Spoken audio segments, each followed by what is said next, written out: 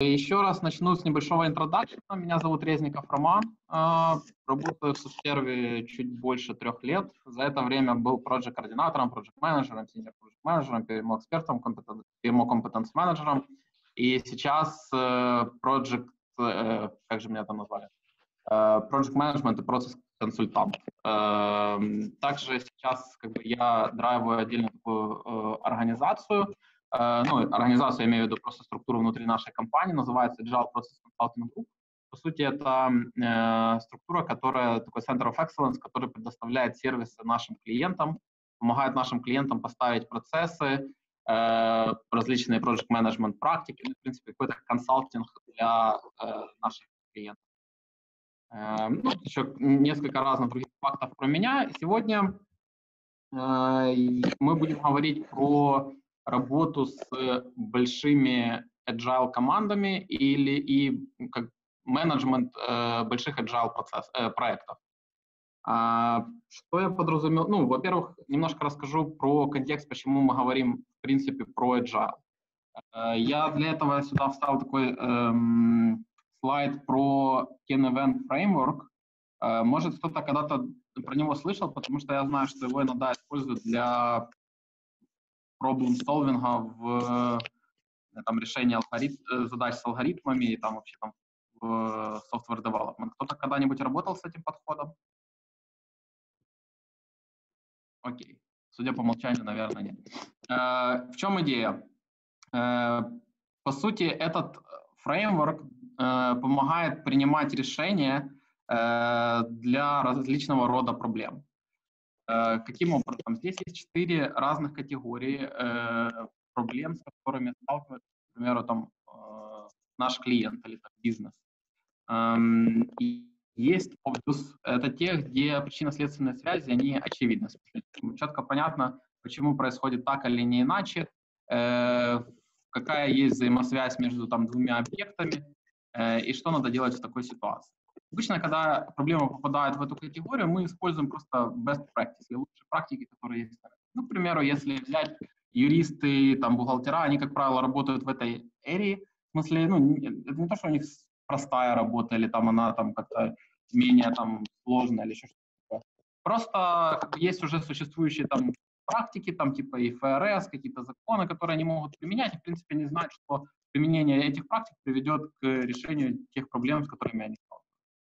Есть complicated э, area. Э, Ее пере... будет правильно перевести, наверное, как запутанная. Когда э, взаимосвязь, причинно-следственные связи, они есть, но э, они хуже отслеживаются, и надо как бы делать такой investigation, более тщательное планирование. Сюда попадают различные там э, hardware engineering, airspace, строительство и прочее. Если это сложные эри, но тем не менее они подчиняются вполне очевидным законам, и для того, чтобы решить ту или иную проблему, нам надо применить так называемые хорошие практики, good practice или industry practice. Если мы говорим, что это не одна какая-то практика, это набор э, различных вариантов альтернатив, которые мы можем применять. И э, есть так называемый комплекс environment, там, сложный environment. Эм, он подразумевает, что причинно-следственные связи можно отследить только ретроспективно. Грубо говоря, можно что-то попробовать, посмотреть, работает или нет, и если как бы работает, то эм, исследовать эту эрию, таким образом решить проблему. И вот большинство клиентов, которые к нам обращаются с запросом по разработке программного обеспечения, они, как правило, находятся вот в этой эре, комплекс. Ну и, в принципе, вот решение каких-то бизнес-проблем, э, software продуктами, оно, как правило, попадает в эту эрию. Для того, чтобы нам понять, будет это работать или нет, или, в принципе, там, подходит это решение или нет, как правило, надо попробовать, посмотреть, работает оно или не работает, и эм, как бы сделать какие-то корректировки, и вот э, так вот эволюционно прийти к тому решению, которое э, закрывает наши потребности. И именно Agile, в принципе, вот гибкий подход к разработке программного обеспечения, он помогает э, вот, работать в этой эре. В смысле, он нам э, дает возможность э, делать короткие итерации, короткие инкременты, смотреть, что у нас получилось, и делать э, какие-то аджастменты по мере необходимости. Э, ну, в принципе, такой фреймворк, поэтому как бы э, сегодня мы будем говорить в основном про, э, ну, не в основном, а э, про э, agile проекты. Э, на этом этапе хотел вас попросить э, такой небольшой опросник, э, зайти на mente.com и ввести код 610890 и проголосовать на этом сайте. Интересно посмотреть ваш ответ.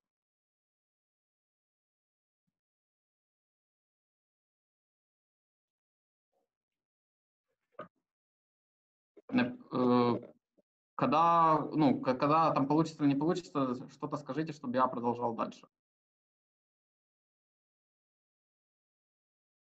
Потом в конце я вам фоллоуапом пришлю результаты.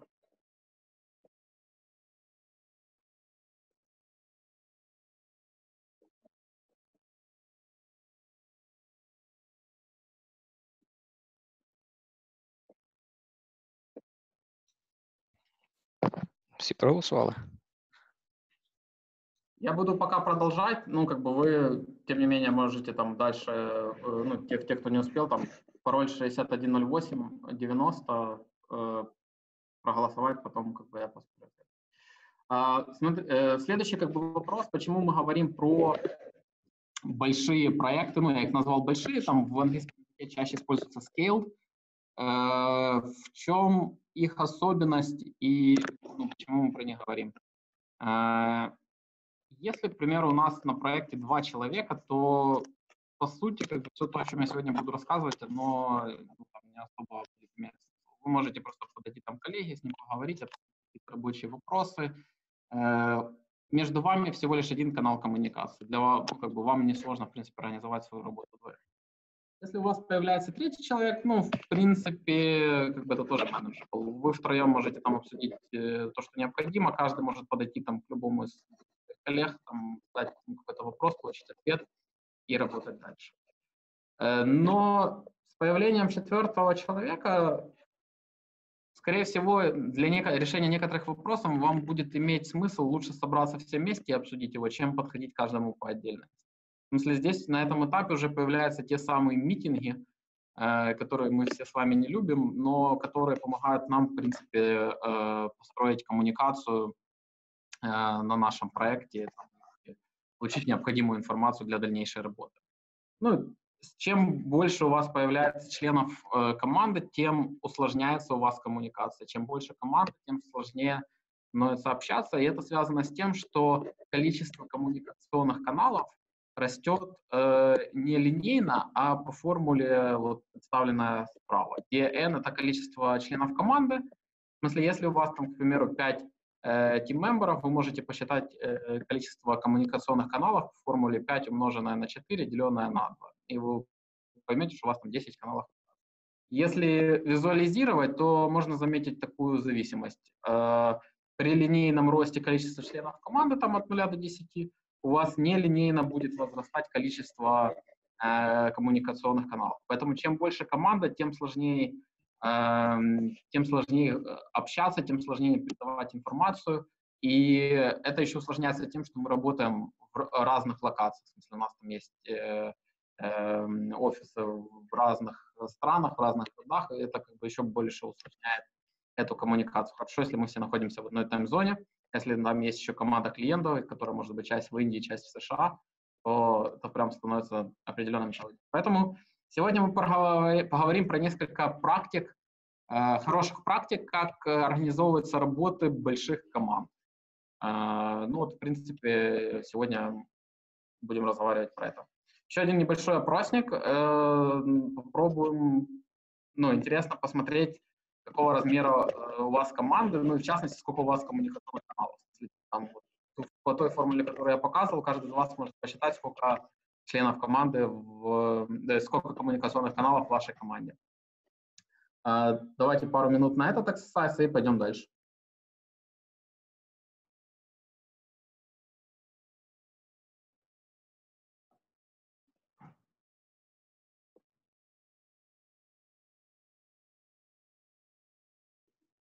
А напомни формулу, пожалуйста. Напоминаю. В смысле, количество членов команды умноженное на это же количество минус 1, деленное на 2.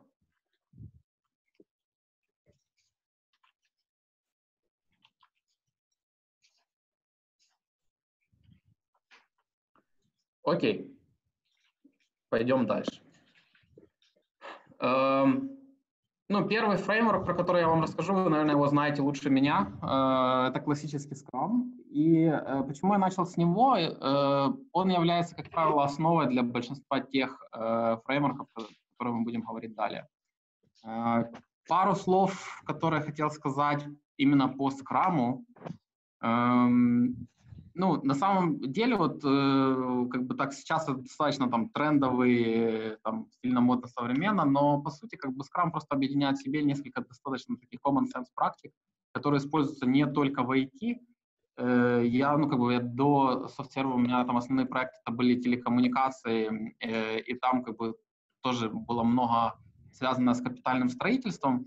Если взять вот то, как там происходит там работа на стройки, скажем, там, обычного дома, то работают по каким, неким фазам, э, разбивают по фазам, которые, по сути, являются аналогом спринтов. А в начале фазы всегда проводят какое-то планирование, ну, ее называют обычно там планерка. Э, в конце э, проводят ретроспективу, просто обзор того, что было сделано. Каждый день э, тоже собирают э, такой митинг, где обсуждают там текущий прогресс и там какие-то текущие вопросы, блокеры. В смысле, если посмотреть по набору церемоний, они не особо отличаются на софтвер-проекте или там на строительстве какого-нибудь многоэтажки дома. По ролям примерно та же история. Есть продукт оунер он же какой-то спонсор, он же кто-то, кто там дает какие-то требования и э, как бы там э, при, принимает работу, есть э, команда, которая это делает, есть некий прораб, который может быть как частью команды тоже, в принципе, работать, э, либо, если там команда большая, выделенный человек, который занимается там организацией работы. Единственное такое существенное отличие э, вот именно скрама и, в принципе, там agile подхода в software development, это что в результате каждой итерации э, у вас должен получаться shippable product increment. По сути, каждый раз вы должны делать какой-то продукт, который потенциально можно кому-то продать, или кто-то там готов, будет готов им пользоваться. И вот если брать реалии софтсерва, это, к сожалению, далеко не всегда так. А, часто очень у нас используют на разных проектах практики скрама, э, там митинги, роли и другое-другое, ну, про прочие артефакты. Но вот именно очень редко я встречаю, чтобы каждую итерацию команда могла выдавать такой shippable product инкремент, который она показывает end-юзерам или там заказчику или клиентам, получает какой-то фидбэк, на следующую итерацию она фидбэк там применяет. Обычно у нас просто разбивают какой-то скоп работы на такие куски, и вот, в принципе, работают такими кусками, там в итоге каждая итерация просто получается еще один э, кусок работы, который, ну, сложно назвать там shippable product. И это существенное отличие от э, того, что как бы, происходит там в реальности вот в IT в аутсорсинге и того, что предписывает там классический скрам. В продуктовых компаниях это работает лучше, потому что у них, короче, путь от клиента, заказчика, юзера к команде разработки. В наших реалиях, как правило, э, там есть еще какая-то прокси из там, какого-то вендора или там нашего, наших стейкхолдеров на стороне клиента. Если, ну, в чем э, ограничение скрама, это то, что он хорошо работает, как правило, до 15 человек. Честно говоря, вот работа, ну, работа команд э, больше 15 человек, э, используя скрам, ему скажут, что это невозможно, но это менее эффективно и ну, оно, оно достаточно осложнено. Еще очень много зависит от того, насколько у вас там хорошо построена там автоматизация, CI-CD, э, там, насколько у вас там можно работать над ну, там, приложение, там, э, архитектура приложения, то ли это микросервисы, модули или еще что-то такое. Но в целом, как бы, Scrum больше подходит для команд там, до 15 человек, и как бы, вот, он рассчитан на этот объем. Если у нас вырастает количество там, до 25, до 30, имеет чаще всего смысл разбить на несколько команд. Две-три команды э, по там, 10-12 человек. Эм, и э, для координации работы таких команд самое простое, что можно использовать, это просто э, такую настройку, еще один митинг of Scrum. По сути, это э, еще один, его иногда проводят каждый день, иногда два или три раза в неделю. Но, по сути, это митинг, на котором приход, э, присутствуют представители э, всех команд, э, плюс там обычно там э, скрам-мастера, продукт-оунеры, э, может еще какой-то менеджмент, который позволяет синхронизироваться командами между собой. Ну, на самом деле этот фреймворк не отвечает на многие вопросы по организации работы команд, по планированию, по всему остальному, но просто это такой как элемент э, синхронизации между командами. Как правило, этот митинг, он является тоже составляющей частью э, других э, фреймворков, про которые мы сегодня будем говорить. Есть у кого-то Scrum of Scrums на тех проектах, на которых вы работаете?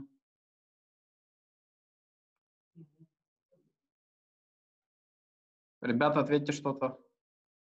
Е, Раніше були Scrum of Scrum мітинги, але потім їх відмінили за не знаю, прийш... е, змінився менеджмент з української сторони, Мгм. зрозуміли про їхню неефективність, тому що кожен розказує про своє, які е, свої задачі, які дуже мало стикуються з іншими задачами. Відповідно, кожен на своїй хвилі вони були неефективні, просто вистання часу. Тому Мгм. їх повідміняли. Мгм.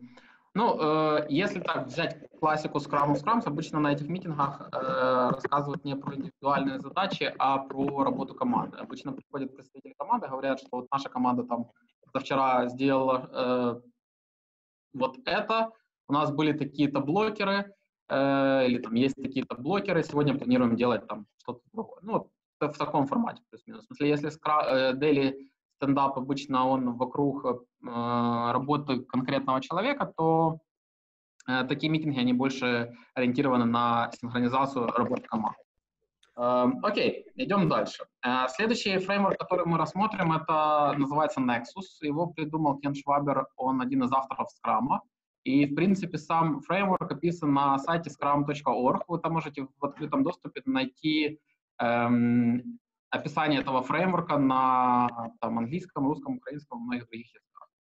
Эм, он очень хорошо элайнится со скрамом, потому что, по сути, представляет из себя такую некую настройку. Я вот сделал такую сравнительную табличку. Если говори, говорить по ролям, то э, ну, как бы сам э, Nexus рассчитан на работу от 3 до 9 скрам команд. Если говорить по ролям, то в самих командах остаются те же роли Product Owner, Scrum Master и команда, но на уровне самого Nexus появляется такая э, Nexus Integration Team. Я позже про нее расскажу, потому что, на мой взгляд, это самая полезная практика из всего фреймворка. А, По артефактам э, остается все то же самое, что есть в Scrum, но добавляется Nexus Sprint Backlog. Э, По сути, это сумма бэклогов всех команд, которые участвуют в этом Nexus. Э, Там 3-9 команд, от 3 до 9 команд, э, сумма их бэклогов — это Nexus Sprint Backlog. Integrated инкремент — это результат работы этих команд. В смысле, если каждая команда — это отдельно такой shippable продукт инкремент, то вместе они делают такой integrated инкремент. И здесь, на самом деле, есть разное мнение по поводу того, а, должен ли в Nexus у каждой команды все равно оставаться инкрементальный продукт. В смысле, я могу свой продукт э, показать клиенту как отдельно, так и внутри Nexus инкремента, либо он должен быть только вот частью вот этого большого инкремента. Ну, как бы есть разное мнение на этот счет. И э, есть Nexus Sprint Goals. По сути, это эм, аналог тех спринт э, целей, которые есть у каждой команды, но только для всего, для всех, э, всех команд э, в рамках этого Nexus. По церемониям есть Nexus Sprint Planning.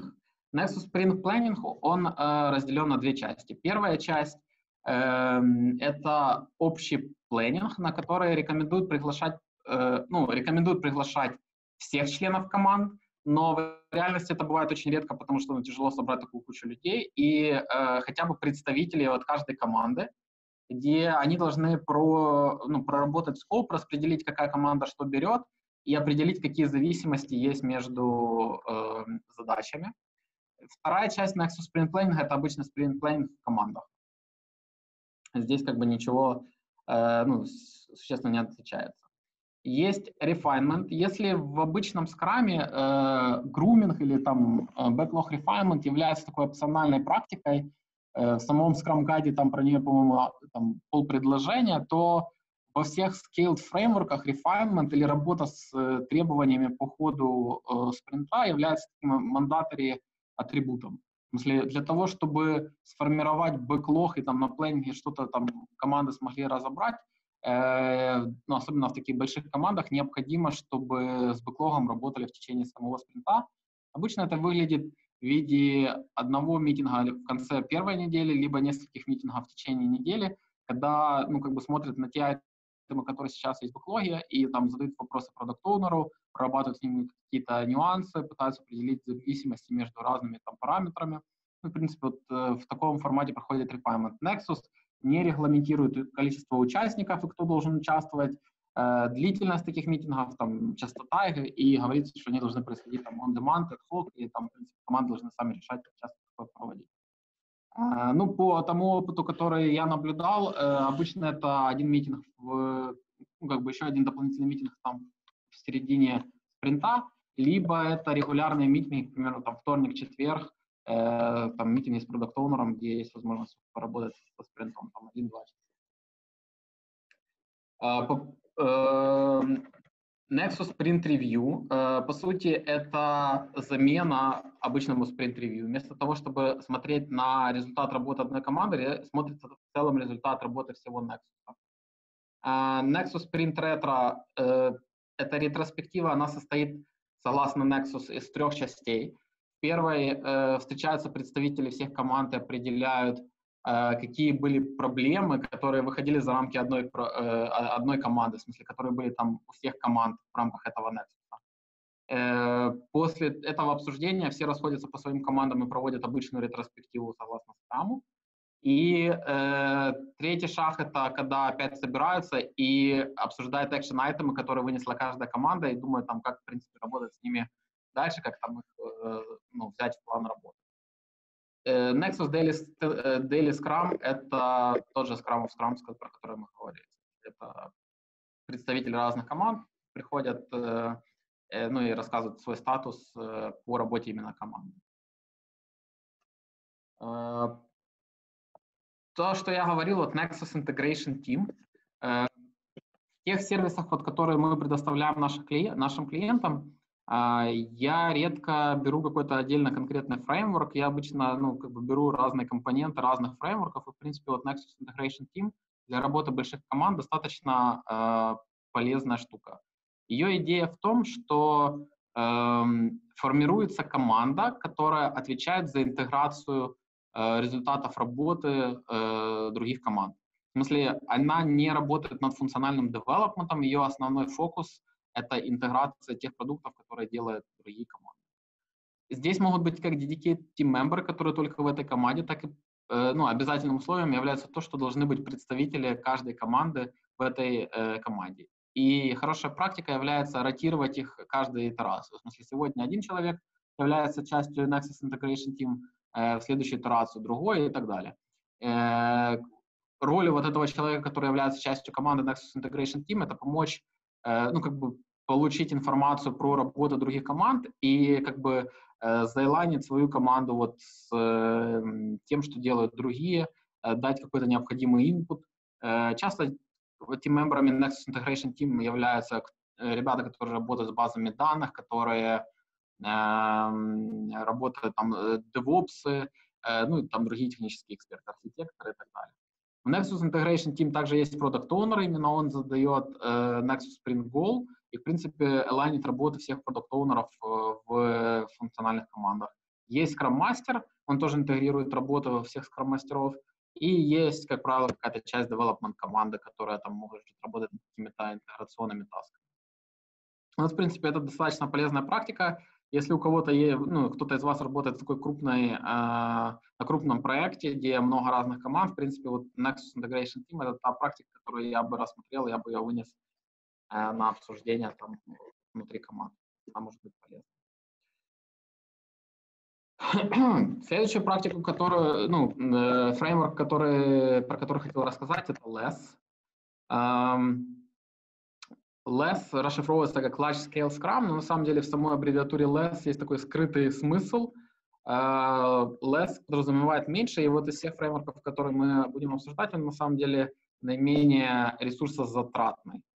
Uh, даже если вы не планируете использовать эту практику у себя, я рекомендую зайти на сайт less.works и там вот это вот скриншот э, с их сайта, там очень такая удобная, кликабельная библиотека, где вы можете просмотреть информацию про разные аспекты там, работы э, agile команд. Ну, как бы даже если вы не будете использовать этот фреймворк, там много чего интересного есть почитать и как бы очень удобная навигация. Особенность LS по сравнению с Nexus то, что здесь один продукт оунер на несколько команд. Более того, Лес говорит, что, в принципе, Scrum мастера тоже можно делить при необходимости на несколько команд. Спринт планинг э, здесь разделен на две части, чем-то похоже по структуре на то, что предлагает Nexus. Э, в одной части э, представители команд и продукт э, формируют бэклог для всего потока. Дальше это распределяется на команды. Рассматривается вариант, что некоторые команды могут проводить планинг именно для себя вместе, некоторые могут по отдельности, если фичи инкремент. А, то же самое и про Product Backlog Refinement. В смысле, в этом плане Nexus достаточно похож э, на LESS. А, тоже проходит две стадии. На одной Product Owner эм, э, работает с представителями команд, но здесь есть интересная такая особенность, то, что LESS рекомендует на Backlog Refinement приглашать в команды не Product Owner, а юзеров и стейкхолдеров. И, ну, на самом деле, это классная практика, не всегда, к сожалению, она применима в наших реалиях, но эм, прорабатывать такой бэклог э, не, не только с продукт оунером но и с конечными юзерами, это достаточно эффективный подход. Э, похожим образом организована ретроспектива. Единственное, здесь между, вместо трех фаз, которые предлагает Nexus, здесь две. Э, после спринт-ревью э, команды собираются на отдельные ретроспективы, потом есть такая overall ретроспектива, где участвует продукт оунер и скрам-мастера, и представители команды обсуждают какие-то экшен-айтемы на следующий период. Э, про все вот эти фреймворки, ну, Less, Nexus, ну и тем более Scrum Scrums, я хочу сказать, что для того, чтобы сделать их возможными, необходимы определенные технические capability смысле архитектура приложения, э, там определенный уровень автоматизации, э, всякие CI, CD, DevOps процессы, э, это те enablerы, которые могут сделать э, возможным такую работу в больших командах. Если там у вас какое-то монолитное приложение, нету никакой автоматизации, там, э, тестирования, весь деплоймент делается вручную, то ну, оверхедов при работе с такими большими командами будет больше, чем value от Э, ну, добавления новых ресурсов. Поэтому они на самом деле все очень завязаны на техническую составляющую. И в Less, и вот дальше мы будем рассматривать Agile Framework, там на это сделан э, большой упор.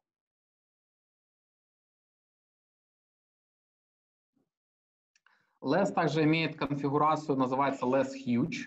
Э, по сути, это объединение нескольких потоков. Э, на каждом потоке есть так называемый Area Product Owner. И есть общий продукт оунер который делает такой супервижен. Здесь уже стоит задача продукт оунера разбить э, работу на несколько стримов, э, Less рекомендует, чтобы это были не технические стримы, там backend, frontend или еще что-то типа такого, а именно функциональный, каждый как отдельная такая компонент для клиента, value stream для клиента.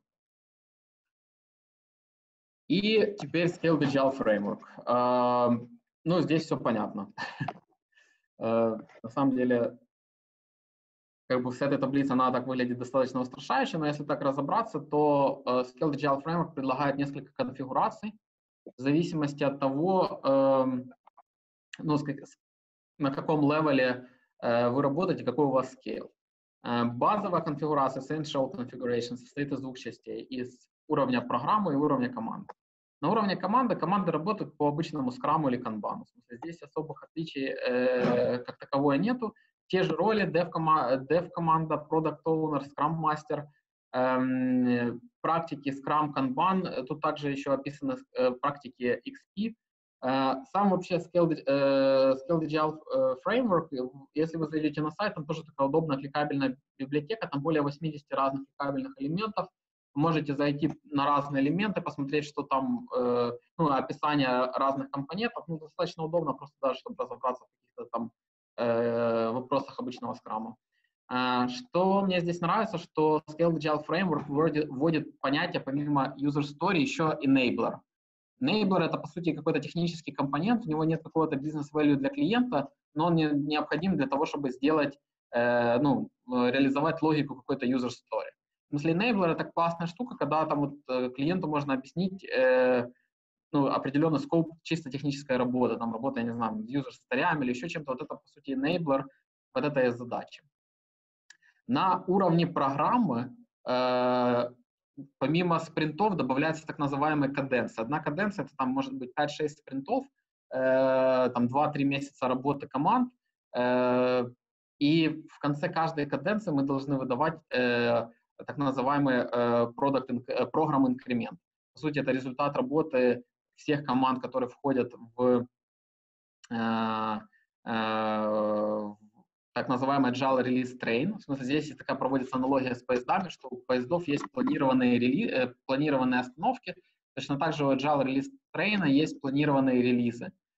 И э, как бы не, работа нескольких команд в рамках одного, э, там, одной программы называется Agile Release Train или ART. Э, в начале каждого арта проводится PI-планирование, в конце проводится Inspect and Adapt Workshop, на котором, э, ну, это как ретроспектива работы вот этих команд. PI-планинг — это обычно двухдневный ивент. Э, если зайти на Scaled Agile Framework, сайт, там э, описано целое расписание, как должен проходить этот ивент. И э, в течение этого ивента планируется работа команд на э, вот этот период времени, там 2-3 месяца. Э, помимо этого, каждая команда, в принципе, из, ну, из общего бэклога э, берет себе в бэклог там, в начале каждого спринта на планинге, э, ну, как в обычном скраме, э, на определенный набор задач. Плюс здесь добавлен еще такой э, так называемый innovation in planning, э, innovation in planning э, sprint, по сути, это один нефункциональный спринт, когда команды не работают над э, функциональным девелопментом, они больше работают над дизайном, там, планированием, инновациями и так далее. Ну, честно скажу, в реальной, э, в реальной жизни э, это надо смысле, не все клиенты готовы платить там за работу там 100, ну, как бы вот э, уровень программы это до 125 человек, в смысле, не все клиенты готовы там платить за одну такую полную итерацию, там, инновации и прочее, все хотят иметь какие-то фичи. Э, но, тем не менее, это часть рекомендации. Э, есть э, более высокоуровневый продукт backlog item, который называется фича. По сути, там фича состоит из ряда там старей. У фичей тоже есть свои enablerы на своем уровне. В этом фреймворке уделяется достаточно много времени DevOps и quality практикам. В смысле, там вы можете зайти и посмотреть Э, ну, нюансы. Честно говоря, там большая часть они э, носят такой концептуальный характер, но тем не менее э, достаточно хорошо лайнится с э, тем, что мы делаем. Плюс э, в, на уровне программы добавлены новые три роли. Есть так называемый релиз train инженер. По сути, это наш project менеджер или программ менеджер, тот, кто менеджит несколько команд есть продукт менеджер, он, э, как правило, супервайзер для нескольких продукт оунеров И есть э, систем архитект. Ну, в принципе, здесь э, плюс-минус э, alignment с тем, что есть в нашей компании, с, с ролями. Если посмотреть на церемонии, которые есть в, на уровне программы, эм, есть синхрониз... ну, типа синкап между продукт-оунерами, Э, есть Scrum of Scrums э, на уровне программы. Э, их регулярность тоже определяется кейс by кейс, в смысле, как бы нет какого-то там регламента, как часто должно проходить. А, есть PI planning, ну, по сути, это большой планинг на каденцию там 4, 5, 6 спринтов. И Inspect Adapt Workshop — это большая ретроспектива работы вот этих команд. В течение в течение работы есть так называемый Prepare for PI Planning, по сути, это что-то похоже на Backlog Refinement, и System Demo — это когда мы показываем демо результата работы всех команд, которые входят в наш Agile Release Уровень портфолио, по сути, э, конфигурация портфолио, она добавляет еще один уровень. э, к, э, к нашему Essential Э, к Essential конфигурации, она регламентирует э, governance от enterprise к командам, как происходит э, э, передача requirements от бизнеса в development. Э, здесь оперируют такими понятиями, как strategic teams, э, э, как темы. Э, по сути, это какие-то э, бизнес-направления, которые диктует э, enterprise, они проходят через портфолио Canvas. Если кто-то из вас знаком, есть такой бизнес-модел Canvas.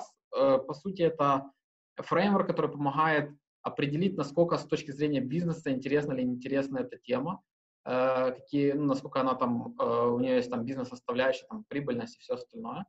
Дальше идет э, лин-бюджетирование. Лин-бюджетирование — это такой фреймворк, если коротко, когда у нас есть фиксированная сумма денег, и нам надо ее распределить между несколькими value стримами. Э, по каждому value стриму обычно ставится э, KPI, и здесь появляется новый уровень э, backlog айтемов, называемый epic. Если сравнивать с Jira, то те эпики, которые есть в Jira, они ближе к фичам, вот уровню фичи в Scale, вот на программном левеле. Epic это, как правило, более высокоуровневый, вот, если брать Scale Agile Framework. Эм, это большой кусок работы, э, как правило, там какой-то модуль или там какой-то кусок приложения аппликации. Для эпиков, так же как и для фичи, для story есть свои enablerы, э, технические эм, ну, какие-то технические задачи, которые необходимо сделать для того, чтобы э, можно было реализовать тот или иной эпик.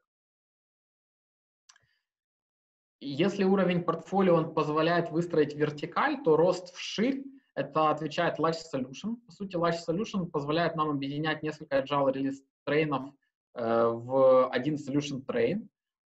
И, ну, насколько утверждает сам Scale Agile Framework, каких-то ограничений по количеству людей тут вообще нету. Э, если я не ошибаюсь, у них на сайте лежит кейс-стади э, Почта Австралии, где э, Solution Train насчитывает 25 тысяч человек. Достаточно большой, ну, как бы большой кусок бизнеса. В Solution Train предусматривается, что могут быть как внутренние команды, так и supplier. Вот мы, на самом деле, если посмотреть, мы попадаем вот в эту сильную линию supplier. В смысле, он, он, э, этот фреймворк регламентирует, как работать не только с внутренними командами, но и с поставщиками какими-то, типа как софтвер для некоторых наших клиентов. Э, э, если говорить про породок backlog item, то тут появляется такое entity capability. Capability обычно состоит из нескольких там фич, которые уже дальше декомпозированы на user story. Есть так называемые enablerы для capability также.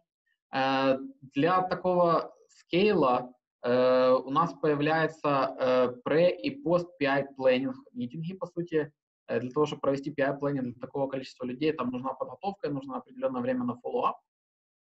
Ну и, в принципе, это здесь тоже как бы закладывается.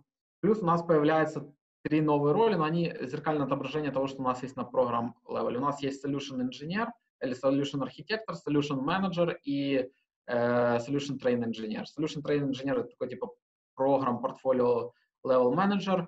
Э, solution э, Manager — это такой супервайзер для нескольких продукт-оунеров.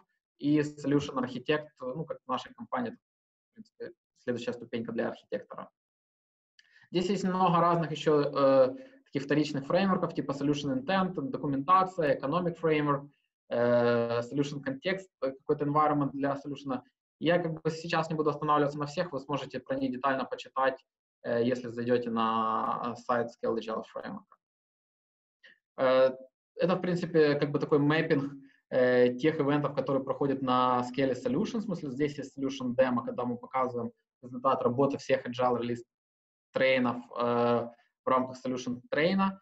Эм, тот же and Adapt Workshop, как я говорил, добавляется pre- и post-PI planning и. Есть э, meeting синхронизация Solution Train, э, где участвуют все release train инженеры и архитектурные sync-up. В смысле, те meeting и, которые добавляются на этом уровне. Ну вот, в принципе, если э, взять все level ы, которые мы сейчас прошли, то получается такая full configuration, и ну, как бы он дает governance для работы достаточно большой, э, ну, как бы большого набора команд.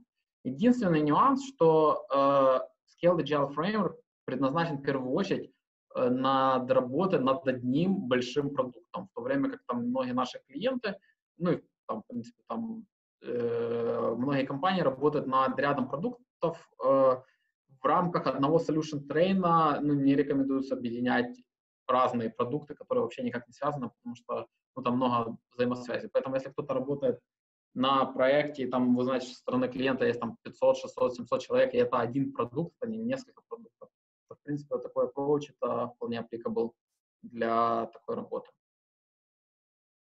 Если построить ERD-диаграмму вот того, что мы обсуждали, то у нас есть разные уровни, там, к примеру, Enterprise, Portfolio, Large Solution Program Team. А, для них есть как бы разные, эм, для уровня портфолио это Value Stream, для Large Solution а, это Solution Train, для программы это Agile Release э, Train. И есть разные уровни эм, backlog айтемов. Есть эпики, capability, feature истории. Ну, в принципе, можно посмотреть на их взаимоотношения э, на вот этой диаграмме. Если говорить про популярность тех или иных фреймворков, э, в большинстве опросов лидирует Scale Agile Framework, он сейчас достаточно популярный, у них хороший маркетинг, и, ну, в принципе, он отвечает на многие governance э, вопросы, которые есть у корпораций. Э, в смысле, вот можете посмотреть здесь статистику, я собрал из разных источников по популярности тех или иных фреймворков среди там, бизнеса.